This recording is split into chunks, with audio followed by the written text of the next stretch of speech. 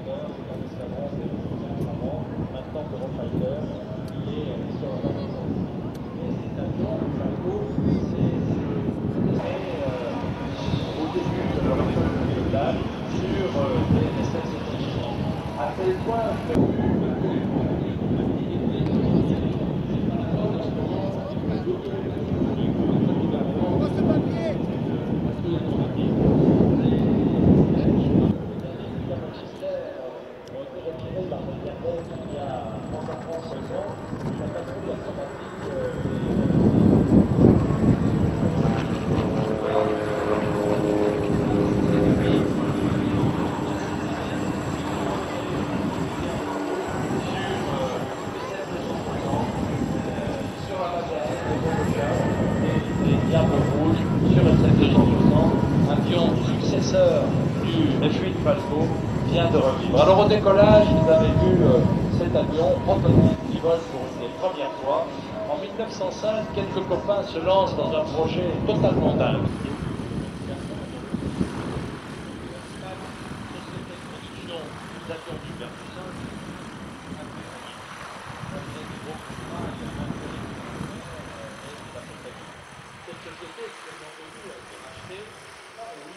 Non, ce n'est pas une maquette, c'est pas le...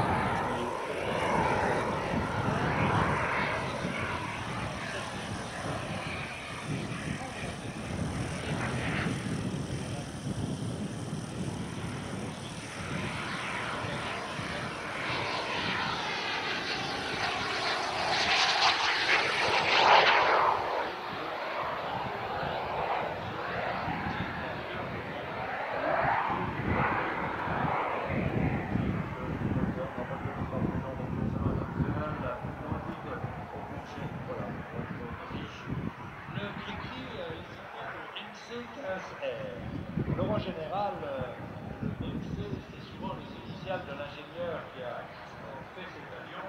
Eh bien, c'est le cas. Par exemple, le magistral de Bordeaux s'appelle le CM170. Le nom des deux ingénieurs qui l'ont décidé, M. Castello et voiture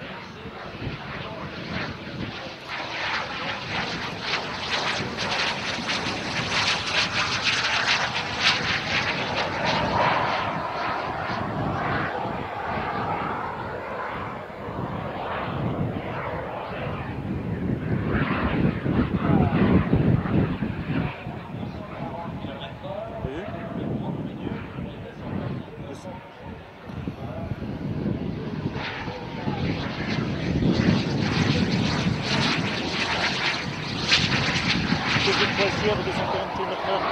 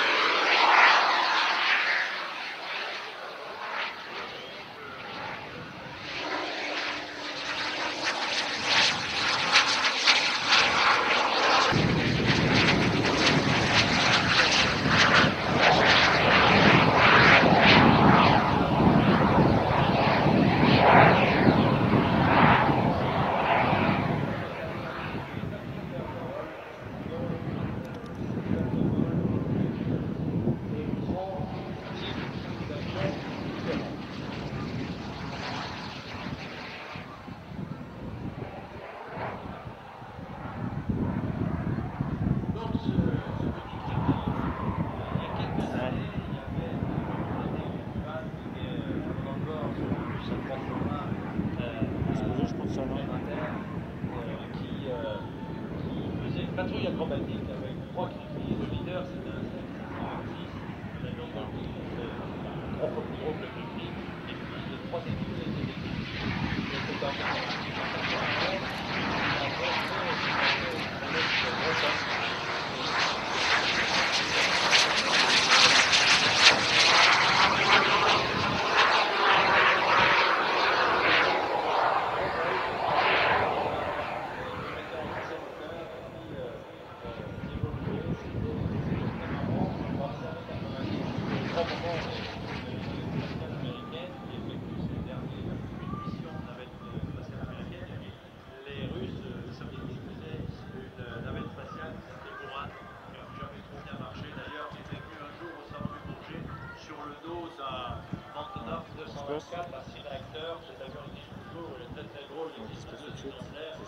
souvent loué pour faire du transport tactique de grande importance.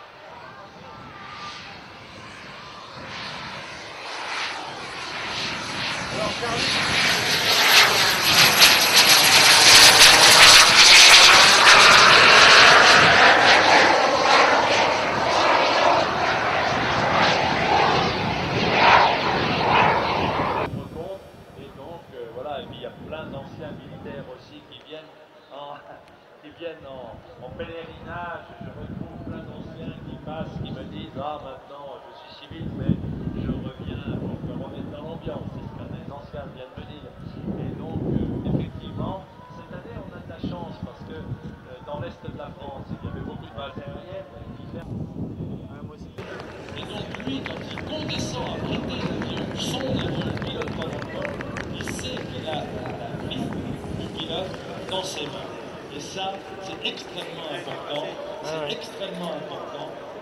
L'aéronautique se fait à trois. Le prince de l'aéronautique, c'est le mécanicien. Mon colonel, le Kiki, voilà, de compter ses moteurs. Le Kiki qui se trouve en face du stand de la patrouille. Pilote, droit pour la tête, droit pour le talon. Voilà Dominique, félicitations à toi, très belle présentation. Je te souhaite un très bon mission. Avec plaisir, invité le ministre du Monde, qui sont montés donc dans le centre d'information et de document. Donc, euh, les qui ont exclu et c'est la nouvelle appellation de ces centres d'information. Comment sur les juvéniers, le jour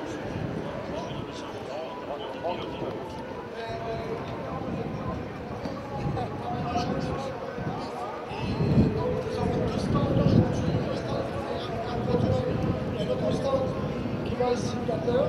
Euh, on est là pour vous informer. Venez nous voir. euh, il y a plein d'opportunités.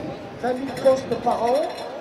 Des jeunes qu'on recrute entre 17 et 30 ans et entre niveau 3e avec plus 5. Vous dépendez de la base aérienne euh, de Reims, hein, c'est bien ça, on a eu l'occasion justement de discuter tout à l'heure avec euh, le colonel, donc le commandant de la base aérienne de Reims. Ça, il est venu aujourd'hui euh, voir la base aérienne de Saint-Dizier avant son départ à Martinique. Et